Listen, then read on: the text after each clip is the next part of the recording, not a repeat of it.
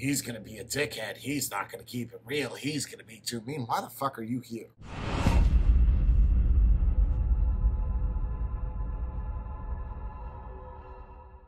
What do we have here?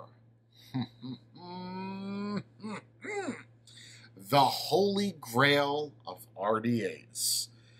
Ah, I don't know why I never did a review on this product. Probably because when I was in this phase, I was going back and forth with Mikey U before he did the uh, his. I don't really want to talk about it, but his Facebook group where uh, we're just going to kind of leave it there. But there's a lot of high end products that are there. And one of the high end products that usually pop up, and they're very, very expensive, would be the M Atty or the Meb Mods M Atty.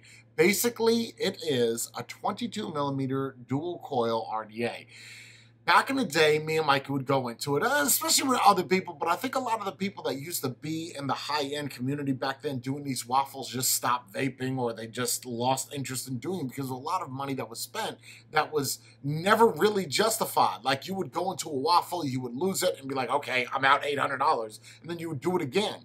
And there was a lot of times when me and Mikey got into it and I won a lot of M Atties. And back then I would take it and flip it because I knew that I would make money after using it it for two, three times, this is no good, and then just get rid of it.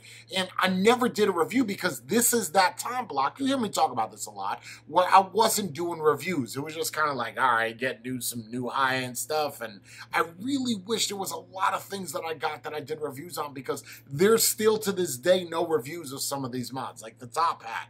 You might find a couple, but they're so rare, Geppettos, Waparis I don't know. I just never did it. But the other day, someone asked me in the comments, and I was like, okay, let me go look around the business for the one M Atty that I have here that's used. I could not find it. So I was like, shit. And I don't want to open up the two that I have at home. I have a star version, which I think is the bright finish, and oh, second batch, 480 something, 41, 42. I don't remember the number, but they're brand new. I was like, I don't really want to bring that to work because I can't even find the one that I have here. So what did I do? I bought another one.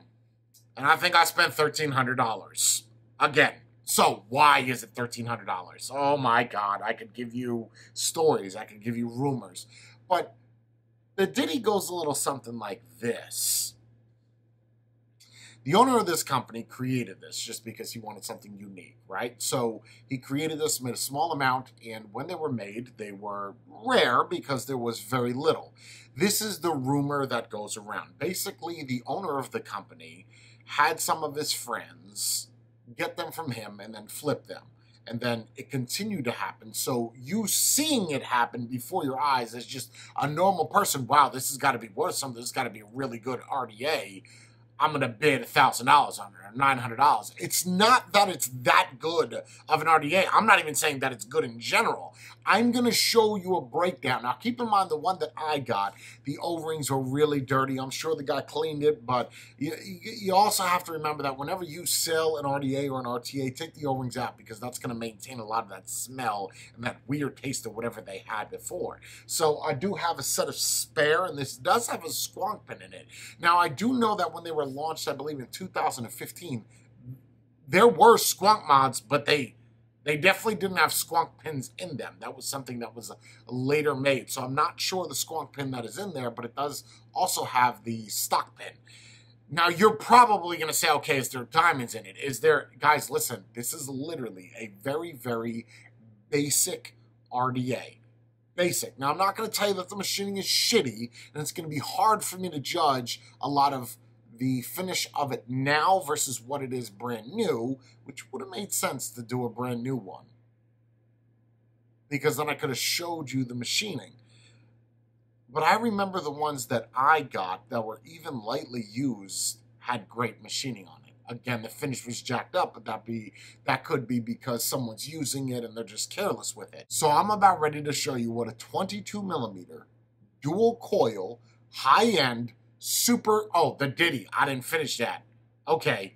So basically, he had them sell them and flip it. I think I did finish that story. That's one of the rumors. There's also a rumor that there was only five made. And then after the five were made, people were like, okay, this is really hyped up. People are posting it. Sort of, and I'm not trying to put myself in that block, but sort of like the Jenna RTAs. People see it, oh my God, the value of it goes up. But the market now versus what it was then, it would be very hard for a product to come out and maintain that same value that this has had over all these years. We're talking six, close to six years. And this still maintains the retail price, I think, was $139. Now they sell for. I, I, I don't know. You because it's all bids and auctions, so I don't know. I'd, I'd have to say its worth is probably seven hundred dollars, maybe eight hundred dollars, and that's really taking a poke at it. If I owned a vape pawn shop, that's what I would put the price point at. I guess we'll see. So I'm going to show you this. Uh, the packaging does not matter. This is not a clone. So before you say, Jay, this is a clone, if any of you are in high-end groups, you already know about me picking this up. And I, if I have to prove to you that I'm not purchasing clones, you're probably on the wrong channel. Unless, of course, you're one of those high end people and you don't like what I have to say about certain products that you pick up and you're just assholey about it and you feel like you have to come here and downvote it. Oh, he's going to be a dickhead. He's not going to keep it real. He's going to be too mean. Why the fuck are you here? So, without further ado, let me not waste any time on you trolls. Show you what this is, put a build in it. Keep in mind, we're talking about a 22 millimeter dual coil RDA first off, a dual coil in a 22 millimeter is very difficult to find. Number one. So it's saying they don't exist, the Hobo 3.1. That, that, it's not saying that they don't exist, they're just extremely rare. You'll see more high-end dual coil 22 millimeter RDAs than you will high-end 24 millimeter dual coil RDAs. That's a fact, Jack. So without further ado, let me bring this M down and show you what we're working with.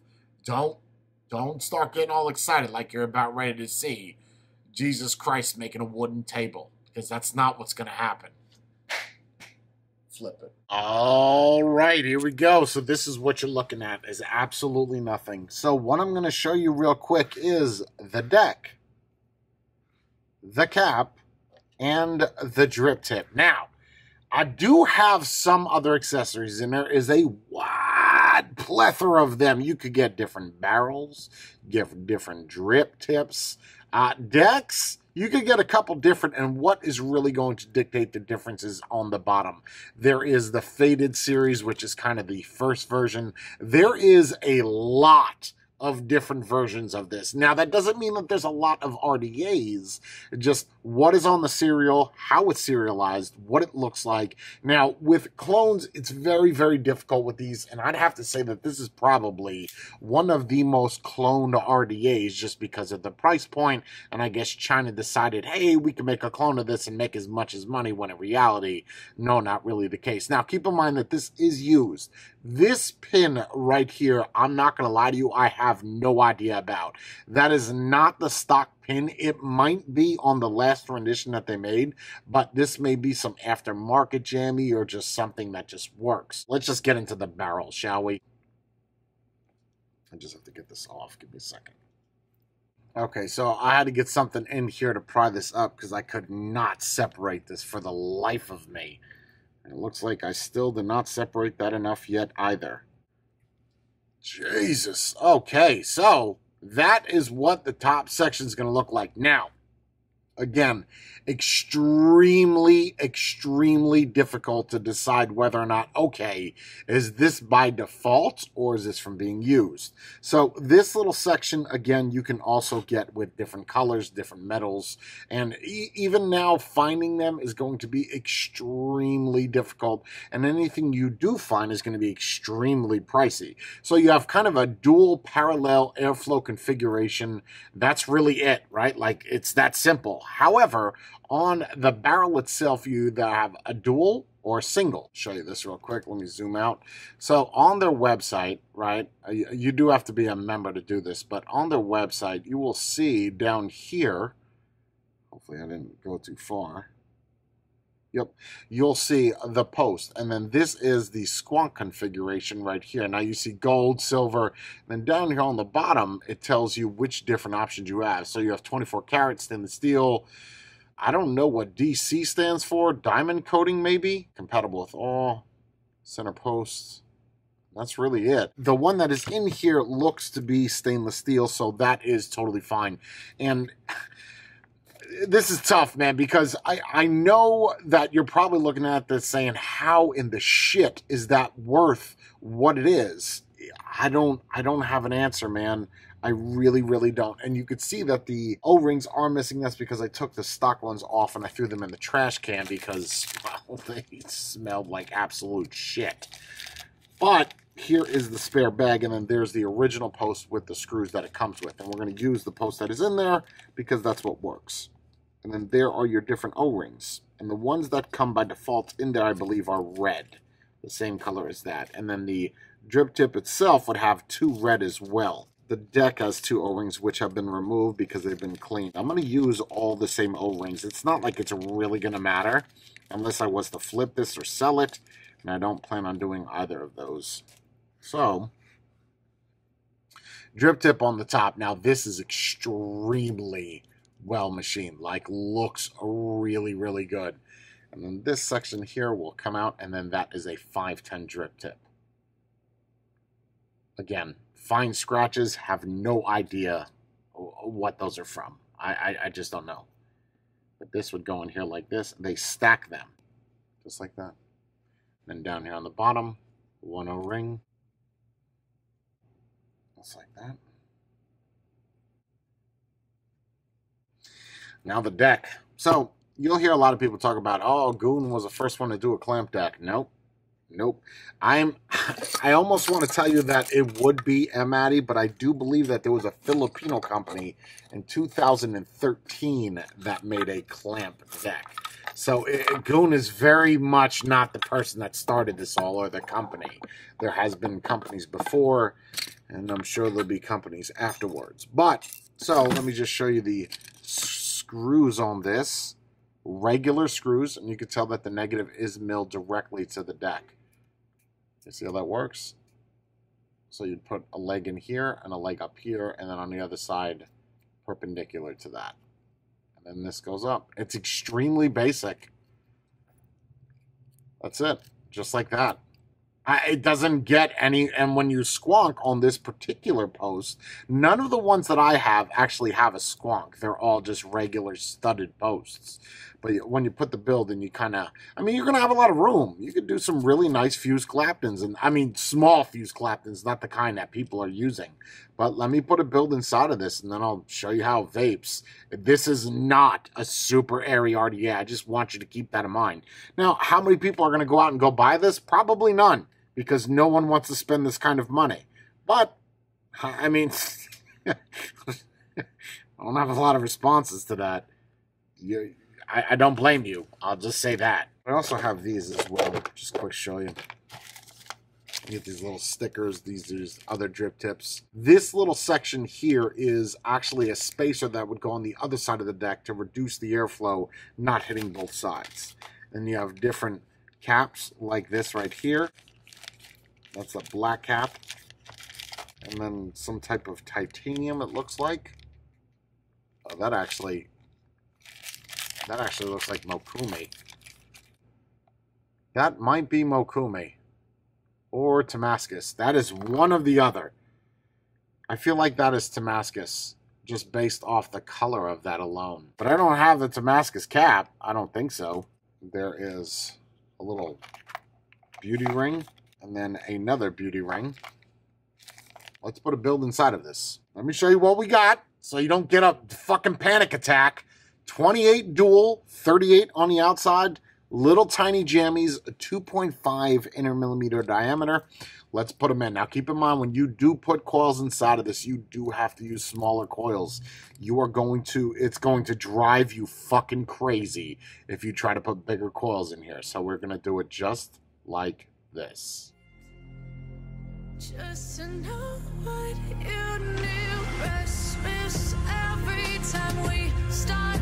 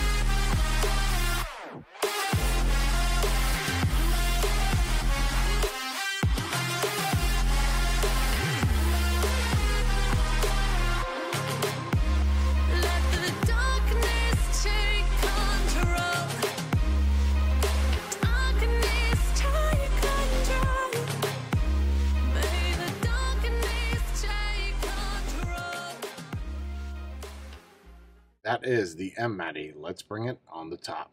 All right, the moment that you've waited for, and you can see I still have this burnt finger. I you saw that and the way it looked terrible. Just licked it, and it smells like burnt pork and taco shells and hair. It's really, really terrible.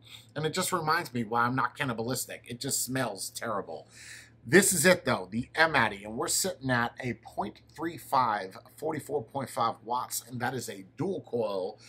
Fuse clapped Clapton 28 dual core with 38 on the outside, wide open. Here we go. And it tastes just like my finger. Cool. So as much as I burn the metal off, the flesh is still on the. Oh my god, that is terrible. Trying to get past that. There it is. Okay. It is super smooth. I'll give it that. For anybody that watches me and owns a Jenna RDA, I would say that this is about half of the air. No, less than half. It's not bad but I would not say that this is designed for dual coils, like the amount of airflow. I feel it's a little bit restrictive. Again, each person is going to be different. Some people consider restrictive direct lung, what I do, like on the GT3 or on the Jenna RTA, as restrictive. Some people even consider it mouth to lung. I don't. I don't know how to compare this to something. Maybe uh, a lot of people have the Goon RDA. The one airflow halfway open is about how much airflow this has all the way open. You know, I.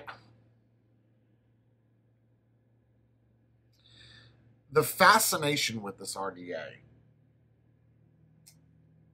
is hyped up so much over the years again, I don't want to take away from the beauty of it, of how it looks. It looks like a regular 22 millimeter RDA. There is absolutely nothing special about this, aside from the fact that it probably is one of the first triple post or single post with milled in negatives that has this type of configuration. And the gentleman, I believe, is based out of New Zealand, but these were in fact machined, I think, out of California, somewhere in the States. So it is American made, but that doesn't that's not why it's the price that it is. I can promise you the reason why it's this price is because they get away with that price. Not saying, well, I'm not going to say if it's a ripoff or not. It's definitely not a ripoff. It's just how deep are your pockets? How crazy do you want to get? Do you want to own something that, uh, we'll say in total, I, I don't know, over 1,200 were made, roughly, give or take? Depending on which one, and then there's special serials that you know friends and family, and oh my god, there's so many different. I think there's like seven or eight different variations, some rarer than the others. The star ones were very very hard to get a hold of. I think they made 40 or 49, and I cannot remember the number that I have. I really wish that I had a brand new one to show you how it comes, like with me, but I, I don't, and you're just gonna have to deal with this. You think that this is a clone? You go for it, man. You do you. I'm going to rate this. I am. And I'm going to rate it for when it came out because when it did come out, I did get one. If I had to rate this RDA for the time frame that it came out, based off the price point of $140, I would give this an 8 to a 9 without a doubt. I do not, do not rate things based off of price points. I kind of have to here because of what it sells for. Would you say that it's a higher rating because it's held its value and then some? Or would you say that, okay, it's not worth that? I guess you would have to own one to really chime in here. And I know that someone's going to comment down below as I got a clone and it's just a basic SRDA. I understand that clones usually one of one, but if you don't have the actual RDA made by Meb Mods, no offense, you can't really comment here saying that this is a piece of shit RDA. You have no ground to stand on. You could give an opinion about how it looks, but as far as functionality, getting a clone is not the same thing as the original. I get it. Dimensions are the same. The screws are the same.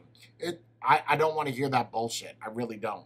And I'm not saying that spending $1,600 or even a 1000 or 900 or $500 is worth it for an RDA. I've done reviews on RDAs. That Volute Mods Jammy up here, I think that was like 600 bucks. The biggest ripoff ever. This is a little bit different because everybody that is in the high end game, even people that don't deal with high end, know what this is. If I had to rate it in today's fashion, still being a 22 millimeter dual coil with that much versatility, I'm going to give it a 7 to a 7.5. I don't think it's bad. I think the machining is good for what I can see, but I have no way of knowing how this was when he got it. I'm just kicking myself in the ass. I really should have brought mine from home here. I really, really should have. But you just have to take my word for it yeah, I'd, I'd put this in a 7.58 block, even for what it is. I can't sit here and tell you that I'd recommend you to go buy one, but if you're into collecting high end things and things that are rare, especially in the vape realm, this is something that you're probably going to at some point need to get your hands on.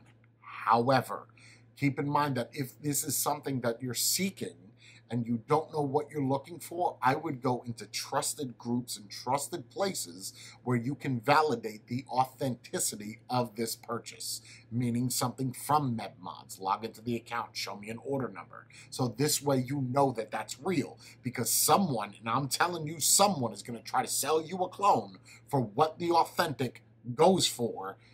And you're going to be really pissed off when you find out that it's fake. So just keep that in mind if you're going to pick one up and I've kept it real. Have you? There's your presentation.